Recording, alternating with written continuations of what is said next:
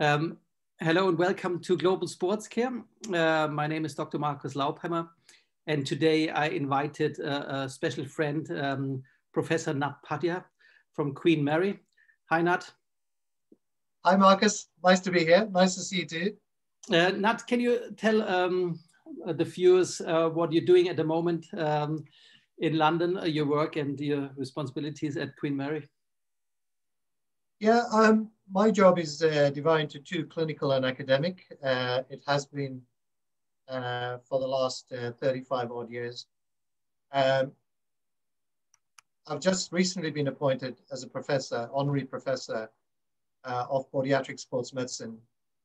Uh, it is a, a, new subject that we've started offering as a course at postgraduate certificate level, diploma, and an MSc in conjunction with sport and exercise medicine. Um, that's been going for about four or five years. So that's my academic uh, um, attachment. Uh, but clinically, I work in the private sector, uh, both in uh, Harley Street as well as uh, in East London at London Independent Hospital. Uh, my background is podiatric surgery, but podiatric sports medicine is growing in, uh, in interest as well as uh, in uh, occupation. So, yeah. So there are many conditions you can deal conservatively rather than surgically. And um, our, our um, video today is about um, exercise-induced leg pain, and I know you're very passionate about this over the last. Um, um, I know you at least for ten years. Um, and uh, since ever I know you and, and I came to your lectures, uh, you were quite um, um, negative about the term shin splints. And uh, can you tell uh, why you do hate this term so much? Um, my interest uh, in leg pain dates back to probably about 85, 86, uh, when I first got to know Dave Perry, who you know well. he's a rheumatologist and together with uh, John King, uh, who I'm going to give this uh, tribute to in a minute. Um, and we discussed uh, what shin splints meant. And I think in those days we were all naive uh, because uh, the knowledge base regarding exercise-induced leg pain was very limited. And shin splints was a terminology that was used. And unfortunately, it's been continued to be used. Uh, and the reason why I hate it the most is because it's used as a diagnostic term, but it means so many different things. If you allow me, Marcus, I'm, I'm going to share my screen.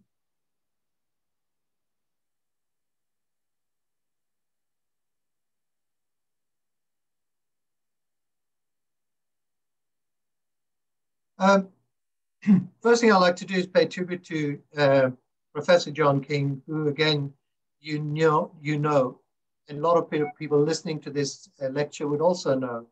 Uh, he was an academic pioneer, a consultant orthopedic surgeon uh, by background, but a great mind, a great uh, knowledge, uh, knowledgeable gentleman.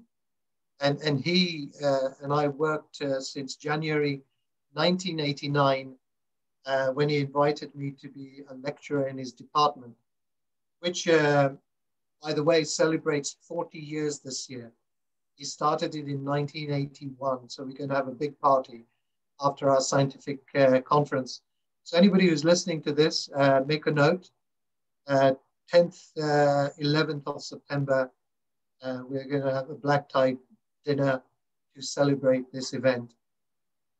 And he had an interest in leg pain, and we often had discussions on a weekly basis. We worked together both in NHS and privately, in fact, right next to each other. So I owe a lot of the, the knowledge I have, excuse me, about leg pain to um, my colleague, mentor, and a very good friend, John King. Um, I think it goes without saying that if all the knowledge you have is shin splints and compartment syndrome, that's equally just as bad, and I'll come to clarify that in a minute. So it's a bit like a hammer and a nail situation. Um, if all you see is shin splints, that's how you're going to deal with it. And you just got to Google shin splints, and you will find millions of hits. You Google, you put shin splints in a PubMed, and you'll find handful of literature uh, papers. Uh, so there, there is a, a, kind of a disconnect between what's evidence and what's, uh, uh I would say, a myth. Uh, shin splints is a terrible terminology. Um, all due respect, clinical community uh, since 1968 has tried to, to define what shin splints is. And as this AMA definition shows, uh, they failed miserably. And they failed miserably because it takes care of so many different structures. It doesn't actually tell us uh, about exactly what it is. And I think in this current climate of evidence-based practice, uh, it makes sense that we actually define it a bit more. But it is one of those terminologies which you simply cannot define uh, specifically. And that's where the problem lies. And that's why I hate it the most. Um, here's a prime example. I got hundreds of these referrals. Um, here's in one letter, requires shin splints. So this is a 35 year old lady who requires shin splints. What does that mean? What do I give her? A bit of shin pads, same letter has shin pain and physio recommended shin splints to be fitted. So what, what do you actually fit? Uh, because what shin splints actually means, it's an anatomical terminology. Shin refers to tibia. Fibula, as we know, is a splint bone. If tibia doesn't have a fibula, uh, tibia is put under immense stress through the knee and through the ankle because it forms a ring. So it's, it's a splint bone. So splint refers to uh, fibula. If you look at any uh, anatomical book, uh, especially Gray's, that's exactly what shin splints means. And Marcus, that is why I hate it, because it's, it's an anatomical term. It's, it's actually not a clinical term. And this letter tells you uh, why it is so confusing. And equally, compartment syndrome. Often patients come to me petrified. I've been told by my doctor or my physiotherapist or podiatrist that I got compartment syndrome. What do, what do patients do today? First thing they do is Google it. If you Google compartment syndrome, these are the pictures you get. And there are 23 and a half million of these hits on Google. So it's not surprising that patients get petrified. If, is this what I have? They don't read these articles. Compartment syndrome is synonymous with acute compartment syndrome, which is a totally different beast to what we see in sports medicine. What we see is chronic exertional compartment syndrome. It is not limb threatening, it is not life threatening, totally reversible, uh, and many patients modify their activity and can be pain-free. So I think the reason why I dislike and in fact hate these terminologies because they're misleading. They mislead patients. Okay, so does that answer your question, Marcus?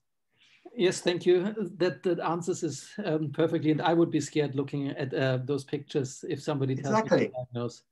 Um, and I think it's also important um, that you subdivide those. And I think that's that's I think the next um, subject you want to get to is um, you know what are the factors? How do we diagnose um, um, exercise-induced leg pain and in fact chronic exertional compartment syndrome?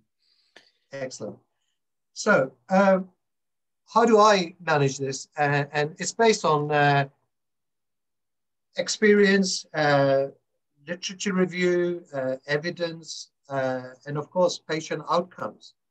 And I think as clinicians over the years, we have lost the trick of asking questions. In other words, taking a decent history, partly because we rely on investigations. Even today, um, I, just to give you an example, uh, well, I probably shouldn't give you an example because this is a, um, plus uh, it's a sportsman who's uh, high profile. Maybe I won't give that example on second thoughts. But we rely heavily on investigations to make a diagnosis. And the biggest culprit is the MRI scan. And we know MRI scan gives you more information than it's necessary. In leg pain, it, it can be disaster. so my trick has always been, and I think you learn to, to, to gather knowledge uh, and, and then ask uh, simple questions. Uh, John King taught me a lot, and he taught me one thing. And he said, in order to make a diagnosis, especially in musculoskeletal medicine, so you can pick a foot, you can pick an ankle, you can pick a, pick a leg. Um, if you don't have knowledge of conditions that affect the leg, you can't ask effective questions. Because there are certain conditions, and a couple of authors have already uh, produced some valuable papers, Jorma Styf on chronic exertional compartment syndrome, uh, where if you take a good history, you can almost be 90% certain that that's going to be the diagnosis. Uh, Marinus Winter, again, Scandinavian, uh, who has produced a fabulous paper in 2018, uh, looking at medial tibial stress syndrome. So on history alone, you can actually make those diagnoses.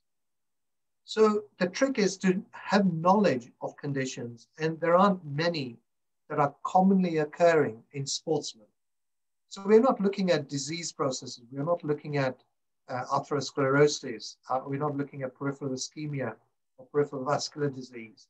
We're looking at young patients with normal anatomy, uh, no obvious disease or pathology that causes them disability, whereby they cannot perform their, their, their activity.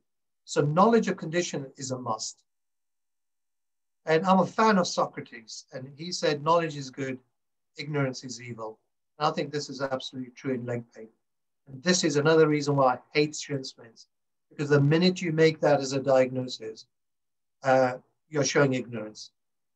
And uh, in fact, the evil bit comes when it costs patients a lot of money and they're no better. The other thing is anatomy, knowledge of the anatomy. Uh, leg is divided into four compartments. I've got a picture of it and I'll show you in a minute. Depending on where the patients get pain and depending on the, the, the knowledge you have will dictate what that condition might be. And of course, history is, is, the, is the foundation. If you have a rough idea of uh, the knowledge of uh, the conditions, you know the anatomy, you will ask some pertinent questions which will then uh, tick the boxes of the condition you know. An examination plays a part, but not a big part. Uh, investigations are only there to confirm the diagnosis. So once you've taken a good history, you need one definitive diagnosis and at least two differential diagnoses based on your knowledge, anatomy, and history. You confirm that with investigations, and then you can have a structured management because don't forget, in, in, in leg pain, often surgery is the only option. So you're not going to subject patients to unnecessary surgery uh, based on very limited uh, workup. Um, and then you may think about predisposing factors. And as you know, Marcus, at Queen Mary, uh, we work very much as a multidisciplinary team. And in leg pain, you need to establish a, a, a multidisciplinary team that consists of uh, an orthopedic surgeon with an interest in sport, rheumatologist, a radiologist, physiotherapist, a podiatrist, and of course the kingpin, the sports medicine specialist, so a, a sports doctor. Uh, so you need about five or six people to then create a multidisciplinary team. And I often have multidisciplinary based on, on leg pains. So uh, there are four compartments in the leg, the anterior compartment. So if someone comes in with a specific history over the anterior compartment, uh, it could be one of three things. Chronic exertional compartment syndrome would be number one. Uh, tibialis anterior muscle uh, syndrome, which is a biomechanical anomaly, uh, but may mimic chronic exertional compartment syndrome. Uh, and 17% incidence of superficial peroneal nerve entrapment syndrome. So straight away, you need to have knowledge of those three conditions. Uh, peroneal compartments, that's the lateral compartment. Uh, deep posterior compartment consists of tibialis posterior and flexor group. Uh, and then you got the calf, which is gastrocnemius soleus, and let's not forget plantaris. This is an area where you got to be really careful, the superficial posterior compartments, because there are so many different conditions that can affect it, from myopathy to uh, radiculopathy to nerve entrapment, myofascial tears, uh, accessory and low-lying Soleus syndromes, uh, and plethora of uh, intramuscular, intra uh, uh, fascia conditions. so compartment and anatomy makes a difference. I say to my students, these are the eight conditions you must have absolute knowledge about. And you keep updating your knowledge. Um, and as John King used to teach me and told me, if you have knowledge of these eight conditions and you ask specific questions, all you're doing is ticking boxes in which condition that question or that answer uh, falls in. And whichever condition contains the most ticks is your primary diagnosis. Then you go through. So in fact, it, you have to be a bloody good detective, but a detective with knowledge, uh, experience plus uh, uh evidence. Um, we're going to talk about chronic exertional compartment syndrome, and I'm going to focus on that. And, and please stop me at any time if I if I ramble on, uh, because this is one area where I have a very keen interest in. Um, so we talk about chronic exertional compartment syndrome affecting the leg, uh, but it also affects the foot. There are four compartments in the leg. There are nine compartments in the foot. And it also affects the forearm. Uh, there are four compartments in the forearm. Um, so forearm and uh, the foot are uncommon. And, and foot in particular, I probably have the largest series of 31 cases in the last 30 years. That means it's once a year. I'm either missing them or it is one of those conditions where you make a diagnosis based on uh, uh, eliminating all the other diagnoses. So for example, medial uh, foot compartment, you uh, looked at uh, FHL tendinopathy, uh, knot of Henry tendinopathy, plantar fasciitis, nerve entrapment, tarsal tunnel. And when you've investigated them and exhausted those diagnoses plus treatment, you would then consider chronic exertional compartment syndrome. I think that's what happens. Leg in particular is, I think, because we have a lot of data on it uh, because we've been researching it since the 50s. Um, so uh, was the first guy in 1956 who didn't actually quite say chronic exertional compartment syndrome. He called it anterior tibial syndrome uh, in a Division One Aberdeen player. Uh, and he did the fasciotomy uh, and returned him back to sport. Uh, it wasn't until 1975 that we had a unified concept of what chronic exertional compartment syndrome was by Matsen. And since then, there's been a number of researchers, Puranen, Mubarak, uh, our own Mike Allen, Mark Batt, uh, who have all had keen interest and have written papers on it. Um, so chronic exertional compartment syndrome, uh, once the history is uh, consistent with that diagnosis.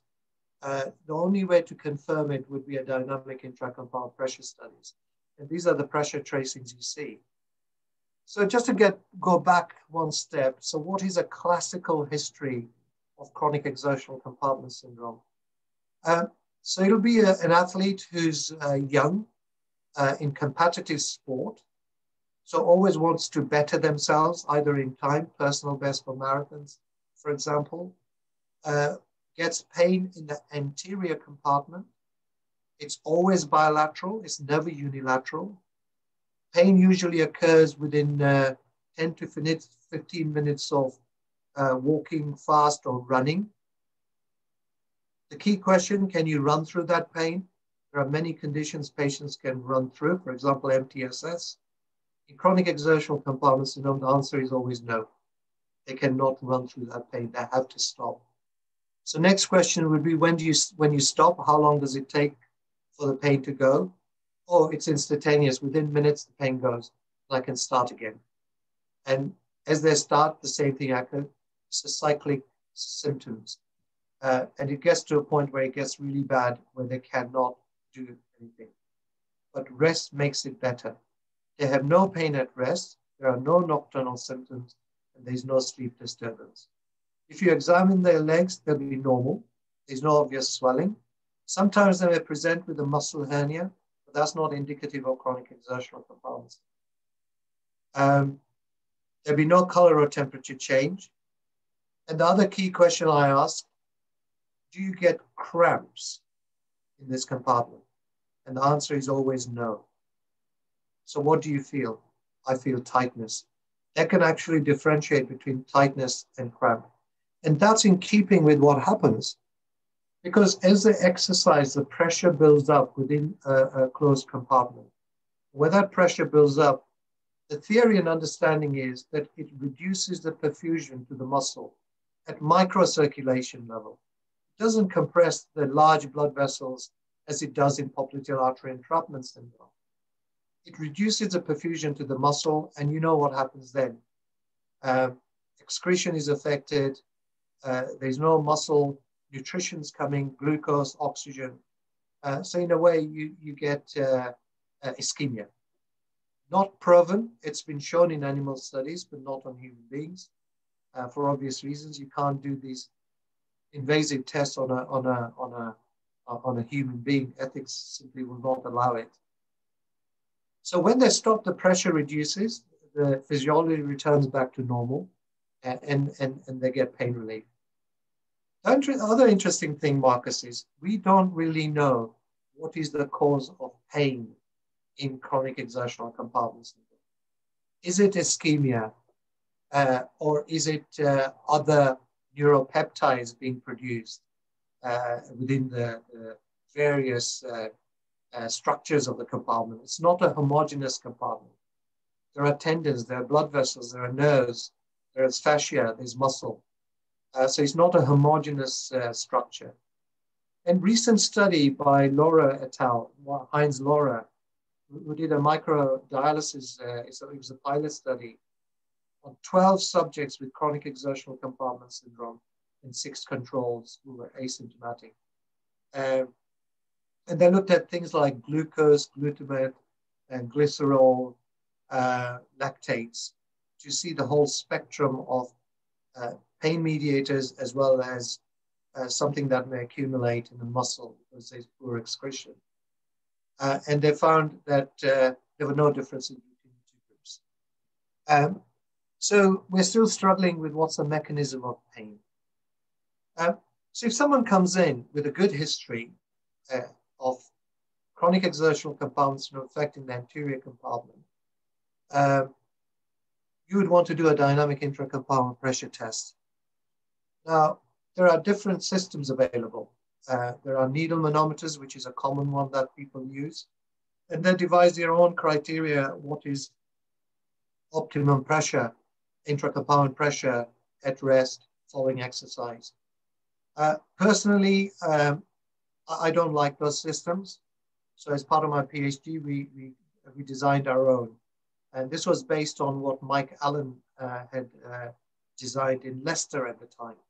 And I think there are about three or four systems available in UK uh, who give the information that you see. So what are the sort of information you need from an intracompartment pressure studies? I think to just get one figure of uh, pressure, uh, which could be maximum pressure, mean pressure, uh, or relaxation pressure is simply not good enough. So from this graph, first thing I want to see, and my cursor is showing, is that I have cannulated this compartment. I threaded in a catheter, which is linked, to a pressure transducer, which is then linked to a computer. I want to ensure that that catheter sits in the compartment uh, that I want to test. So RA is the right anterior, right deep posterior, left anterior, left deep posterior. I can actually uh, uh, squeeze that compartment and get this deflection, which tells me that the catheter is in the right compartment and it's patent, meaning it's not blocked. One in five catheters get blocked, either through muscle or, or, or, or, or a blood clot at the tip of the catheter. Um, and if that happens, then you, you will get abnormal pressure reading. Either you get a flat line uh, or it will be increased to uh, before uh, the catheter got blocked. So that's number one. I want to know whether it's patent or working. So I need a graph. I often say, if you had an ECG and you didn't get a graph, how do you know what's wrong with the heart? And this is no different because essentially what you're looking at is ischemic or, or pressure related problem in, in the leg, uh, where you want to know the characteristic of how the pressure is behaving on activity. So doing before and after rest is, in my book, not good enough. And I'll come to that in a minute. The second bit I need to know is what are the mean pressures? Now, the normal mean pressures are based on data people have collected throughout the world. And I think in the leg, we have a lot of data. In the foot, not so much, and, and not so much for other compartments in the leg. So we have a dearth of data on anterior compartment, but not so many data, so much data on peroneal, superficial, and deep posterior. Uh, so I need to know what the mean pressure is. Does the peak pressure mean a lot? Uh, John and I discussed this on a number of occasions. We said, no, it doesn't, because the pressure is not constant at that level for a long period of time to create a, a, a, an effect in the leg. So, but the mean pressure is. Uh, so we need to know the mean pressures. And again, Jorma Styf has done a lot of work on relaxation pressure. So you get peaks um, with uh, contraction of the muscle, and you get troughs, these things, uh, with relaxation of the muscle. And, and there's a lot of data on that, again from Scandinavia, on, on what the normal relaxation pressures are. And, and they are average around 8 to 12 millimeters of mercury. So that's important. What's the other important thing? The resting pressure. So I can exercise the patient as much as I want, but I want them to then sit down and have a rest in a pre-exercise position, which is literally sitting on a couch with legs dangling. If the pressure drops back to baseline, then that's a normal resting pressure. If it's increased in any way, uh, then that's an abnormal situation. So from this graph, I can look at mean, relaxation, and resting pressure. And I can also make sure that they're patent. This is important. And this is one of the problems we have in, in confirming diagnosis uh, in the leg where people have used other systems where there isn't that kind of scrutiny of what the pressures are. So uh, Osama Aweid, you might know, he was a student uh, uh, back in 2011, 2012. Uh, as part of his MSc, he did a systematic review with meta-analysis uh, of uh, recommendations for intracompartment pressure monitoring in diagnosing chronic exertional compartment syndrome. Uh, and this was, he looked at lots of papers. Uh, a lot of them were thrown out on, on the first uh, uh, look. And, and his conclusions were that all these criteria that are put forward are, are largely uh, unreliable. The only one that had shown any bit of reliability were the Styf uh, data because they were conducted in, in a more controlled manner. Uh, and the emphasis remained mainly on good history, unless you do you use a dynamic system uh, like the one I use and like like uh, Allen used. So that's num that's again a problem problem for us because we, we don't actually have proper criteria of uh, diagnosing uh, pressure values which are supportive of the diagnosis. And this was something that John and I also noticed that uh, if you use a standard protocol for uh, looking at pressures, so the, the, the uh, criteria is uh, needle manometer at rest, patient lying on a couch, stick it in the compartment, look at the pressure, and then they go and exercise uh, uh, for 15 minutes, check it again, and then every other five minutes. uh, but it's at rest. Patients are lying on a couch. What you want is, is to monitor pay, uh, pressure whilst the patients are actually doing their activity. So here on the top left uh, is a skater, a professional skater. And this is how they train on this mat. And he only got pain when he skated. He didn't get pain when he was running or walking uh, in the anterior compartments. Uh, so we tested his pressure and we looked at him running, walking, and they were normal. When he skated, the pressure went up. And equally with all other sports, a tennis player, a cyclist, ballerina, a swimmer here, we mimicked his strokes, uh, jigging up this. Uh, Tom Crisp, you, you know, a very good friend of ours, uh, we had an underwater hockey player who got pain only whilst doing underwater hockey. So we sent her up to Mike Allen at the time, who was more experienced than I am, and, and he mimicked underwater hockey situation for her and looked at pressure. The pressures went up. So again, another thing we need to incorporate in our diagnostic uh, workup to make sure that you test pressure, look at pressures during their activity. And then it comes to treatment. So if you can imagine a patient who's been diagnosed as shin splints has been treated with all sorts of conservative treatment, I can guarantee you the two that would include physiotherapy and orthotics, and they're no better. In fact, one of the side studies that I did when I was doing my PhD uh, was to look at what would be the effect of orthotics on intracompartment pressure if a patient had chronic exertional compartment syndrome. Uh, and we use off-the-shelf orthotics, so we uh, had an abstract, but we never actually published the full data, uh, fear of being litigated by various orthotic companies. Uh, because the orthotic we used were one set, and we couldn't be sure that all orthotics would have the same detrimental effect on the pressure. Um, so Conservative treatment for chronic exertional compartment syndrome. Uh, yes, you can try physiotherapy. You can try all the things that, and if it works, well and good. If it doesn't, uh, then uh, you, you, got other options. Uh, Botox, uh, in my view, uh, shows promise, but I think in UK we're a bit more cautious. In the States, I think is widely used. even in Spain, one of the sports doctor I was talking to They've used it on, on, their, on the air players with good success. Uh, but there are no proper studies, controlled studies on these. So I think in UK, we're a bit cautious. I, am certainly very cautious because my experience with Botox was when working with a, another fabulous orthopedic surgeon, Mark Patterson, who looked after cerebral palsy children with dreadful uh, contractual and restrictive uh, conditions. And he used to use Botox for that, and it, it worked for those patient groups. But I'm not going to preach uh, whether conservative management help work or not. If it works on your patients, uh, fine. Uh, in, in my view, uh, surgery is the only option. So again, Marcus, uh, we, we have to be very definitive about diagnosis uh, so that if you're going to subject these patients to surgery, uh, then uh, there is good evidence to, to say surgery would work in some of these cases.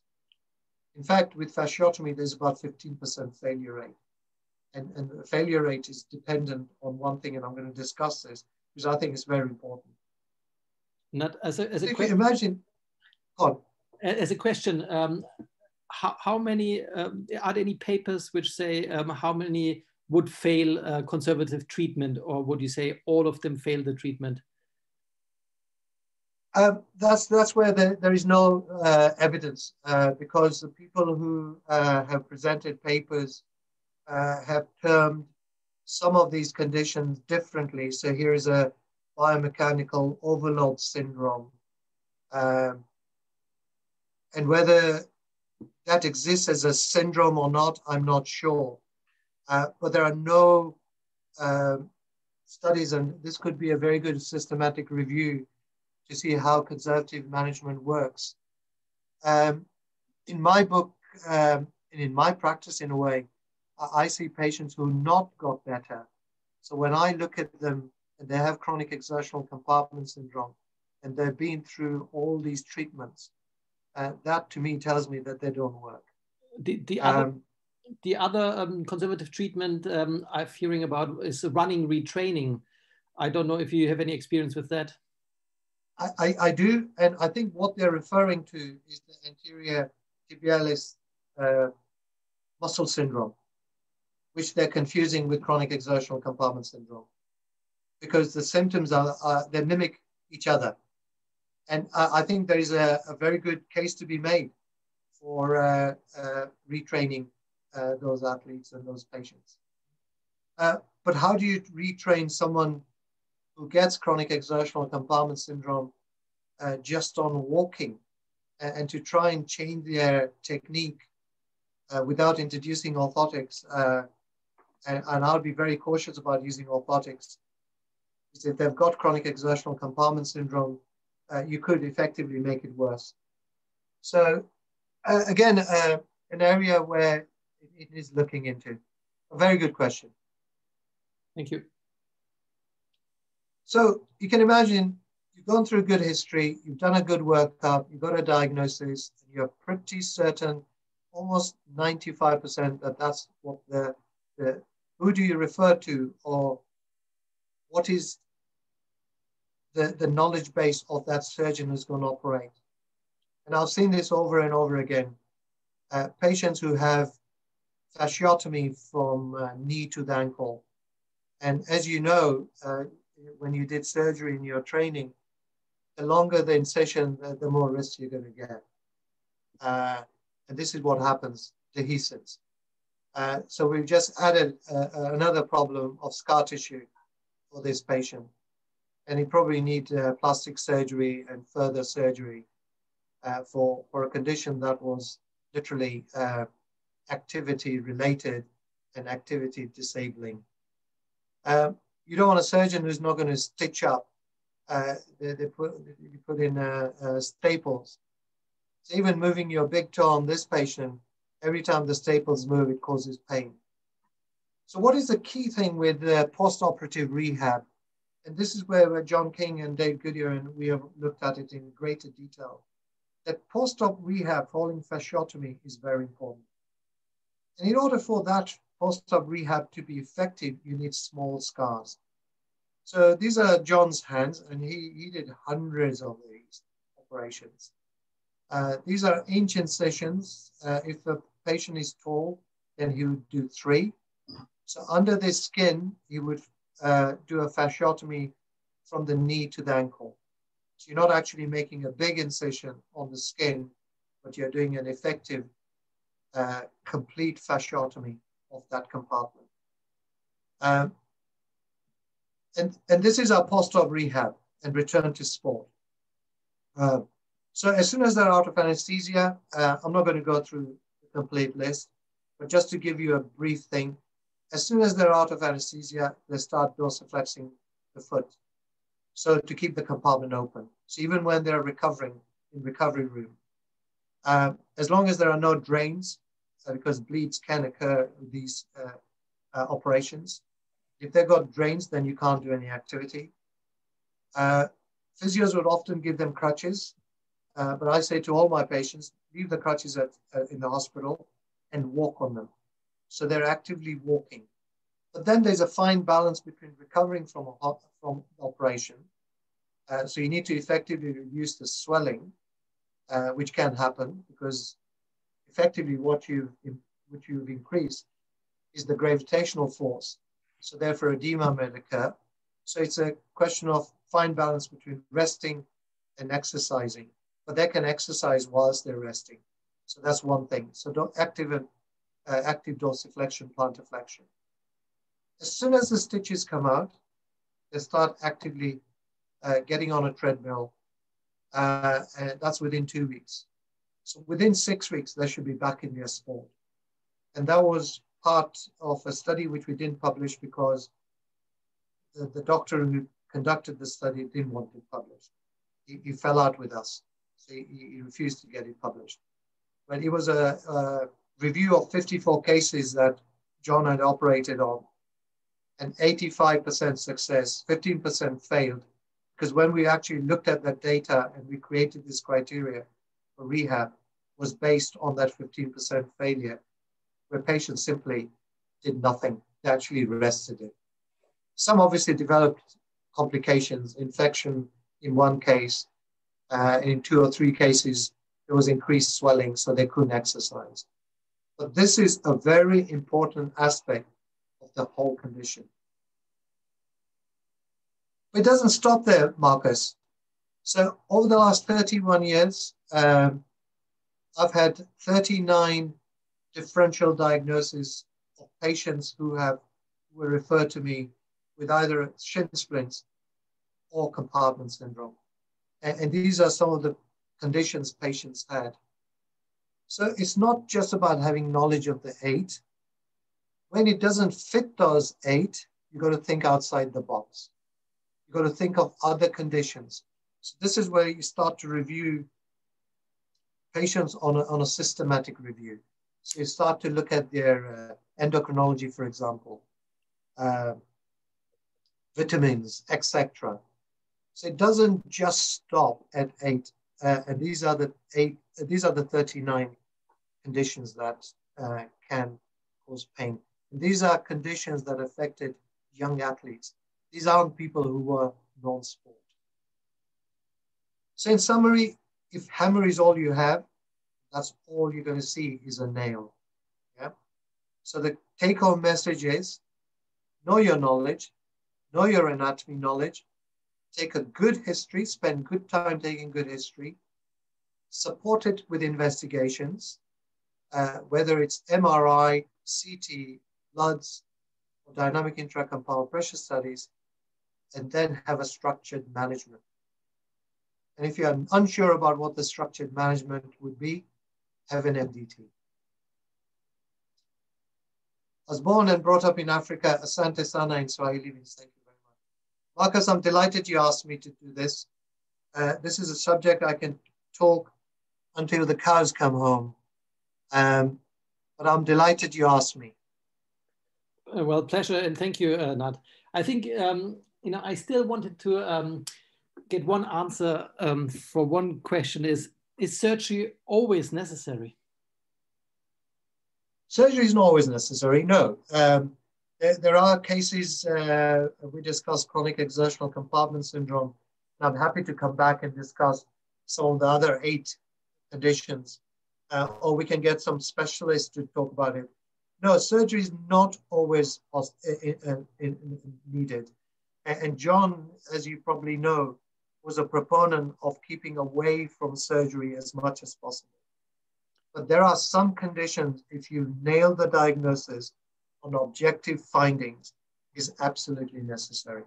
So conditions like chronic exertional compartment syndrome, uh, popliteal artery entrapment syndrome, as long as it's type one to four. Uh, type five, type six is a difficult one. Uh, you need to know the anatomical defect that you can uh, repair or reduce to then get a leg uh, to be normal. Uh, conditions like myopathies, McArdle syndrome, uh, conditions like uh, radiculopathy, superficial peroneal nerve entrapment, other nerve entrapment, sural nerve entrapment, common peroneal nerve entrapment, um, do not need surgery. You, you can manage them uh, conservatively. Uh, often requires injections. Uh, as you know, uh, Otto Chan uh, was pioneered lots of these injections for different conditions, um, and, and we do get them better. Recently had a case uh, of uh, tibialis posterior nerve entrapment due to an old muscle tear uh, in, in, a in a very uh, I wouldn't say elite, but she was a very very keen uh, Ironman. Uh, in the last two years, has not been able to run, uh, and has been treated for different things, but not got better. And we rec- recently decompressed that scar tissue space to release the nerve. I think we'll we'll be about 50, 60 percent uh, uh, it'll be 60 50% better. Uh, but eventually, I think she'll need surgery to release the nerve properly uh, by a peripheral nerve surgeon. Um, so no, I think I, I, think your question is absolutely right. Uh, we don't always offer surgery, but this is where the diagnostic and workup matters because you've got to have a definitive diagnosis, and literature has to support that surgical treatment is the best for that condition.